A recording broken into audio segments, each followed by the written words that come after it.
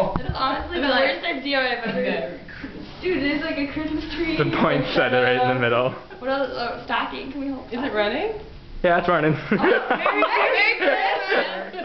Christmas. Merry Christmas.